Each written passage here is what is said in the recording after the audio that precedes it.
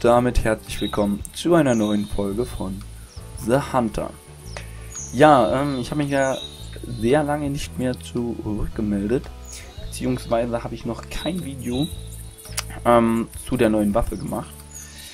Und das wollte ich jetzt einfach mal nachholen, auch wenn es jetzt drei, zwei Tage zu spät kommt. Aber das sollte ja euch nicht weiterhin stören. So, ähm, was für eine Waffe ist denn eigentlich rausgekommen? Ich hatte ja vor ein paar Wochen, also zum Beginn der Europameisterschaft, von den T-Shirts berichtet. Und bei diesen T-Shirts konnte man halt eine Premium-Variante der Bullpup gewinnen. Und hier ist jetzt halt das gute Stück. Man musste halt, wie wahrscheinlich jeder mitbekommen hat, auf die Teams setzen, also sich das T-Shirt von der Mannschaft kaufen, wo man glaubt, dass die gewinnt. Und ich hatte mir halt ein paar rausgesucht, welche ich kaufen wollte. Unter anderem halt auch Portugal. So. Portugal war aber auch unter denen mein. Ja, da habe ich. Ich habe das einfach nur so gekauft, weil Portugal halt. Und ich hätte nie gedacht, dass Portugal halt wirklich Europameister wird. Aber wie wir gesehen haben, wurden sie es ja jetzt. So. Und ähm, deswegen habe ich halt auch die Waffe gewonnen für alle, die halt wirklich auf Deutschland gesetzt haben. Ich war auch sehr traurig, dass Deutschland rausgeflogen ist. Aber ja, die kann man jetzt halt nicht vertrösten. Und man, man, niemand konnte wissen halt, der die Europameisterschaft gewinnt. Aber weniger dazu, mehr jetzt zur Waffe. Ähm, bei der Waffe haben wir hier wirklich eine Engraved-Variante. Und ich muss wirklich sagen, es sieht phänomenal aus. Also auf den Bildern sah es schon echt gut aus, aber wenn man jetzt hier die Gravur sieht, ähm, ja, nee, kann ich nicht ran. Wenn man sich jetzt die Gravur anguckt mit diesen, äh, mit den Rothirschen da drauf und das Goldene dann so, ey, das sieht echt sehr, sehr schön aus. Also da haben sie sich wirklich bei der, bei der Gravur und bei dem Design echt viel Mühe gegeben. Denn bei der WM-Variante vor zwei Jahren, nämlich die Schrotflinte, fand ich im Endeffekt die Gravur nicht so schön. Hier, hier sieht man sie jetzt halt, die ist im gleichen Stil. Das finde ich gut, dass man wirklich sich auf dieses dunkle Holz mit dem goldenen äh, immer weiterhin beschränkt hat. Ähm, aber bei der neuen, bei der Bullpup, finde ich wirklich die Gravur viel, viel schöner. So, dann gehen wir mal aus der F2-Variante raus und gucken sie uns einfach mal von hier nochmal an können ja auch mal ein bisschen mehr. Ups. Zack. Nein. So. Zack. Ähm, können ja auch mal ein bisschen in die Sonne gehen. So, damit man es besser sieht. Hier auch schön die 7 mm Magnum, den Schriftzug. Also es ist genau die gleiche Waffe. Bloß haben wir hier einfach eine viel schönere Variante. Und ich muss auch wirklich sagen, sie sieht auch viel schöner aus als das Original. Also da hat sich Expensive World wirklich viel Mühe gemacht.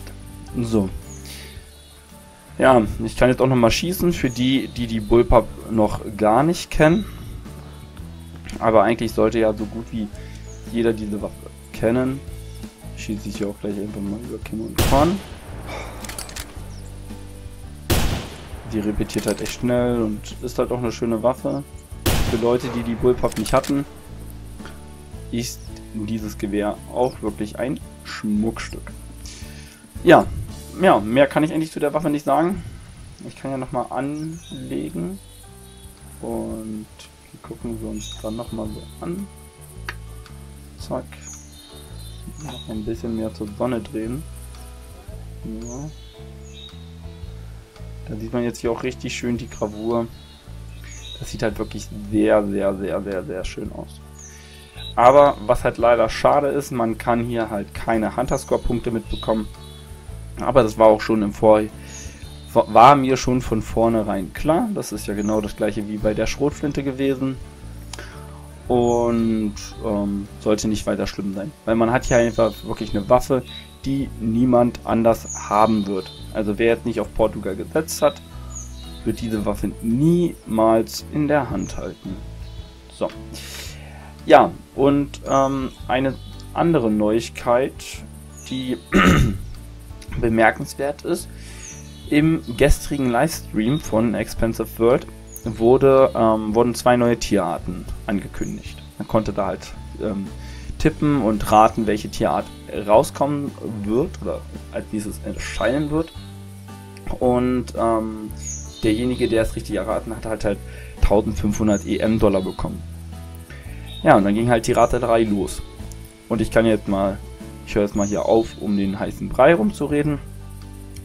Die neuen Tierarten, die erscheinen werden, sind das Alpenschneehuhn und das Moorschneehuhn. So. Ähm, sind halt zwei Unterarten.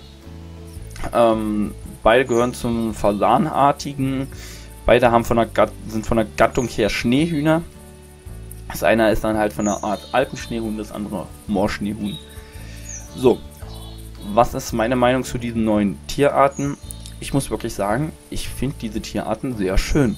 Ähm, wir haben hier halt so eine Art, ja, gehören ja halt zu den Fasanartigen. Also sind sie ähnlich wie die Fasane, aber wir haben sie jetzt halt an neueren Stellen. Zum Beispiel wird das Alpenschneehuhn höchstwahrscheinlich, also das wäre das Logischste, was passieren wird, auf Val de Bois ja, angesiedelt werden. So, dann hat man halt oben bei den Steinböcken endlich eine zweite Tierart, die man dort auch bejagen kann. Weil, wenn man hoch in die Berge ging, war es bis jetzt immer nur so, dass man wirklich nur die Steinböcke gejagt hat. Und das war wirklich auch irgendwie auf, auf, eine, auf die Dauer langweilig und echt wenig ja, äh, Fauna da oben in den Bergen zu betrachten. Und das Moorschneehuhn wird ähm, auf Hemmeldal höchstwahrscheinlich rauskommen. Ja, und wird auch da ein bisschen die Fauna ähm, ja, ergänzen und vielleicht auch ein bisschen so die Map mal ein bisschen interessanter wieder machen. Ja, machen. Äh, weil die Vögel bringen halt wirklich neuen Wind ins Spiel und ja, man hat halt, es gibt wieder mal was Neues. Wenn es jetzt noch eine neue Bärenart gegeben hätte oder noch eine neue Hirschart, das hätte irgendwie nicht jeden interessiert. Auch Wölfe wären für mich nicht so interessant gewesen, weil wir haben schon Kojoten, wir haben schon Füchse. Die Wölfe wären halt nur ein bisschen größer. Aber so eine alten Schneehühner und Moorschneehühner, die sind zwar genau das gleiche wie ein Fasan. Und da wird sich auch nicht viel ändern. Äh, ich blende mal hier auch außerdem schon längst wahrscheinlich ein paar Bilder ein.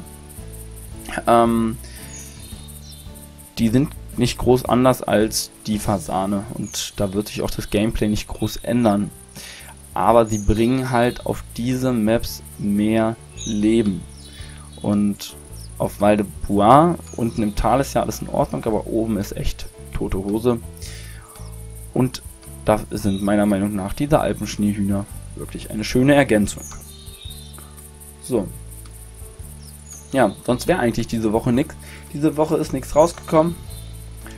Diese Woche haben wir nichts Neues bekommen. Ich laufe jetzt hier noch Richtung Jagd.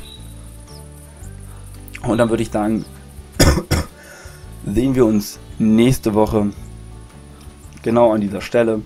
Und dann kann ich nur sagen, bis zum nächsten Mal.